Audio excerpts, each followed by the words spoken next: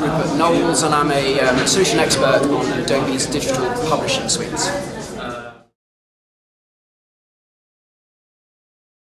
So today we wanted to get together um, some of our customers and ask them to share some of the stories and experiences that they have with DPS. We, we're seeing Adobe's digital publishing suite used in a huge number of different um, areas, verticals, but also different types of use cases. Um, and we wanted to allow customers to see the variety of different ways in which people are um, taking advantage of the uh, DPS platform.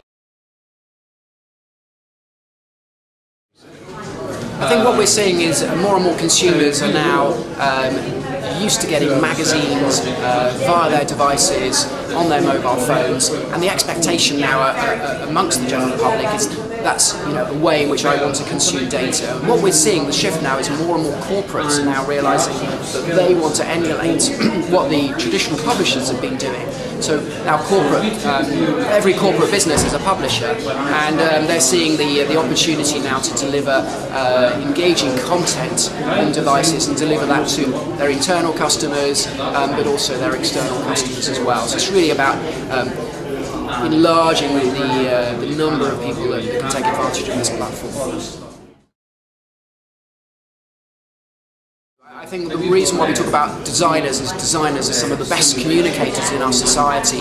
Um, they've got those skills um, to be able to relay um, ideas and information in very creative ways, and they're often some of the best people in which to um, author some of this content. But developers also play a part as well.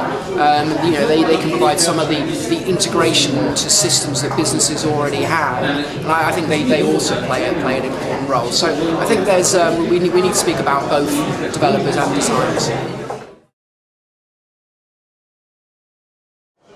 Analytics are, are, incredibly important. If we think of the world of print, how hard it was to actually get readers' feedback, um, incredibly difficult. You'd send out some uh, researchers and ask people, you know, how did they look at the content? What did they read an article? Very, very difficult. And now, of course, in the age of digital, we can provide a huge range of different types of information and metrics about how content's being consumed, what people are looking looking at, and this really allows people and businesses to look at the return on the investment to find find out how effective a publication is, is it working for me, which parts are most popular, and they can then change the editorial and change the content and optimize it at a later date. So I think analytics really changes the way in which um, businesses author content and, and, and really realize the value that they're getting from the platform. Um, I think one of the one of the um, industries that's really um, jumped on DPS and jumped on digital publications as a platform is the, uh, the motor industry, car manufacturers. I think for car manufacturers, brand is so important. And if I'm going to spend a large amount of money on a, on a new vehicle, um, I want to be able to really see and feel what that vehicle is going to be like. So companies like Audi, for example, um, they deliver all of their brochures um, using DPS. They have the different models. They're able to update the new model information for the new vehicles um, when they come out. But they're also also able to uh, deliver their um, Audi magazine into the same application. They can deliver um, accessories, information on the accessories, uh, and other information uh, about the group. So they're using one application to deliver different types of uh, different types of publication, model information um, through, through to their magazines. I think traditionally perhaps public sector hasn't been at the forefront. And I think one of the interesting stories from today was when um, one of our speakers, uh, Keith Quinn from the um, Scottish Social Services Council, was actually showing how he was able to um, use the platform uh, to deliver e-learning and he showed real um, real cost savings there uh, through the platform. So I, I, don't think they should be excluded from this. It's just about being able to tell stories and, and explain how different industries can, can use the platform. I think I'm still surprised by the number of uh, pension Zoom publications that I see out there. Um, you know, when you, you open up the application and to be, able to, read it, you have to zoom into the text and then you're, you're scrolling around with your finger and you think, you know, the tablets have been around for a while now. I, you know, shouldn't they be optimizing that content for the device, at least making sure I can read it without pinching and zooming? So personally, some of my favourite um, DPS, DPS apps on mobile are the Lakeland app.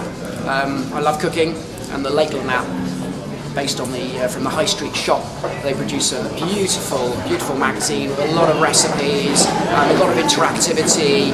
Um, they really bring um, a lot of that cooking um, to life, allows you to create shopping lists and, and, those sorts of things. So that's one of my favourites. Um, I also like some of the, the car magazines. I'm currently looking uh, to get a new car, and with the car magazine, the car brochures, it really allows you to explore the vehicle. You can look at 360s of the car, both the outside and the inside. You can go through and change the colour and see see what the car looks like um, in, in, different particular schemes, for example. So it really allows you to explore the car in, in, in a different way, um, in, a more enhanced way. So those are those are some of my personal favourites.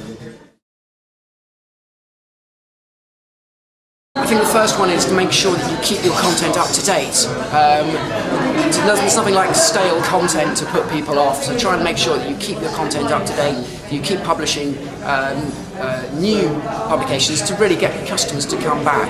Um, I think the other thing that's really important is to, to keep it fun, make it engaging. Um, you know, make sure it's high quality, of course, but also put in some fun content in there and, and bring it to life, and that will really engage people, and they'll then show their mates or they'll share it, um, and that can really help um, bring it to life. Um, and I think the last one is probably about having a consistency across different channels as well, making sure that the content and the message and the branding is consistent across print, across web, um, but, but also mobile as well.